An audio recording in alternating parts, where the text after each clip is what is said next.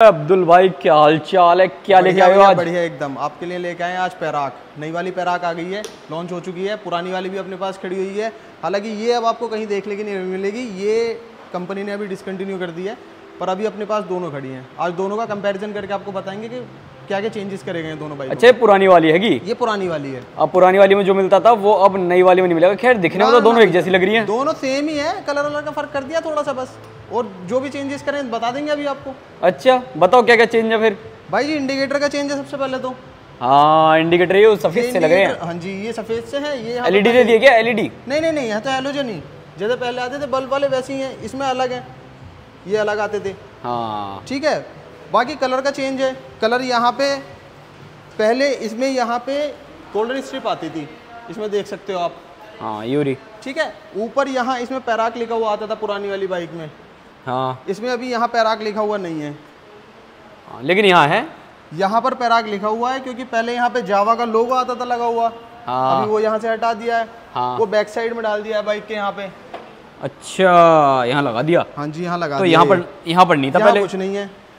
हाँ। कलर का चेंजेस है कलर का फ़र्क डाल दिया है। पहले साइड पैनल्स अलग आते थे अभी ऐसे आते हैं। पहले हाँ। साइड पैनल्स पे पट्टी आती थी यहाँ पे खींची हुई गोल्डन स्ट्रिप आती थी ये वाली। हाँ। ये फ़र्क है। इंजन की फिनिशिंग में थोड़ा सा चेंजेस है। फिनिशिंग में क्या चेंज है? ये ग्लॉस फिनिश में आता था। हाँ। अभी जो आता है वो मैट वाली में आता है। और इंजन पे यहाँ पे लोगो लगा दिया जावा का। अच्छा। ओके। बाकी जो इंजन फिन्स मतलब जो इंजन फिन्स हैं यहाँ पर ये वाले जो इंजन फिन्स होते थे। ये, पहले ब्लैक पहले में ब्लैक थे थे हाँ। अभी ये चेंज कर दिए यहाँ पे इनको जैसे बॉबर में आते हैं वैसे कर दिए हैं। अच्छा ये अब नए से कर दिए हैं। ठीक है। एक मेजर चेंज और करा है सबसे बड़ा। क्या किया पहले है? पहले जो इसके फुट पैड थे वो पीछे की साइड आते थे। बैठ के देखोगे ना तो पता चलेगा आपको कि ये बैक साइड में थे यहाँ। हाँ यहाँ की तरफ़। अभी जो चेंज करे हैं वो कर दिए आगे की साइड में। अभी जो नई वाली बाइक में आते हैं ये आते हैं जैसे बॉबर में पहले करे थे इन लोगों ने आगे की तरफ़ यहाँ आते हैं ये। अच्छा ये थोड़ा और कंफर्टेबल हो गया पहले से। पोजीशन है थोड़ी। ठीक है तो ये बड़ा चेंज है। ये बड़ा चेंज है। हाँ बाकी एक दो चीज़ और दिखी जैसे सीट का फ़र्क है। हाँ सीट यहाँ पहले ऐसी सी थी। उसमें सीट अलग है इसकी सीट अलग है। इसमें थोड़ा ये टेक्सचर दे दिया है। टेक्सचर दे दिया है सीट का। डिज़ाइन अच्छा बना दिया है इसमें। कंफर्टेबल भी है? काफ़ी कंफर्टेबल है। उसके उसके अकॉर्डिंग इसकी कुशनिंग ज़्यादा सॉफ्ट है। अच्छा इसमें पहले इतनी सॉफ्ट नहीं थी? पहले इसमें इतनी सॉफ्ट नहीं थी उसकी कुशनिंग ज़्यादा सॉफ्ट है। अच्छा बाकी यही है बदलाव। और लेकिन इसमें तो दिख रहे हैं एलॉय व्हील्स उसमें स्पोक व्हील्स ऐसा क्यों? ये एलॉय इसमें आते नहीं है ये हमने अलग से लगा करके खड़े किए हुए हैं। ये एज एन एक्सेसरी आप अलग से खरीद सकते हैं। आती दोनों ही स्पॉक्स में है पर हमने इसमें एलॉय लगाए हुए हैं अभी। तो कितना लगता है एक्स्ट्रा खर्चा एलॉय लगवाने का? अलग अलग है दो टाइप दो से तीन टाइप के एलॉय आते हैं। ये डायमंड कट एलॉय हैं। अच्छा ये डायमंड कट एलॉय है। हाँ बाकी स्पोक व्हील्स हैं। जी स्पोक भी लाते हैं। मतलब एलॉय लगवाओगे तो ट्यूबलेस टायर हो जाएगा और बाकी ट्यूब वाला टायर रहेगा। यही टायर चेंज हो गया आपका ट्यूबलेस हो जाएगा अगर एलॉय लगवा लेंगे तो। बाकी कोई बदलाव ना है। बाकी और कोई बदलाव नहीं है ऐसा। ना एक बदलाव तो ज़रूर दिख रहा है मेरे को। क्या दिखा आपको? देखो यहाँ से अगर आप देखोगे यहाँ पर ये देखो ये रिफ्लेक्टर यहाँ पर है ये थोड़ी मोटी सी। रिफ्लेक्टर आगे लगे हुए आते थे।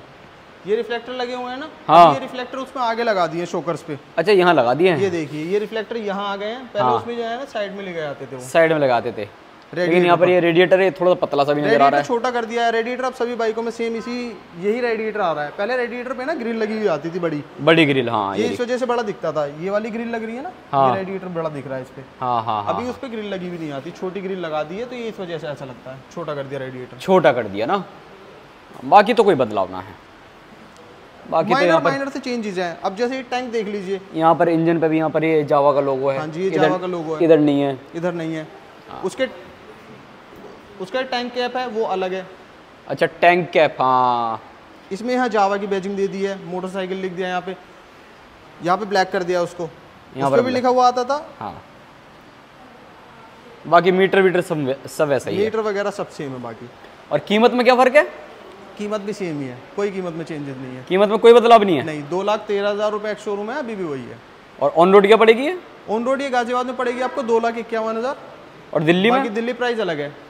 अच्छा दो लाख दो लाख पचास हज़ार रुपये से भी कम है? चार पाँच हज़ार का फ़र्क आता है दिल्ली से चार पाँच हज़ार रुपए का मतलब। हाँ जी। मतलब दो लाख सैंतालीस के आसपास है मान बिल्कुल।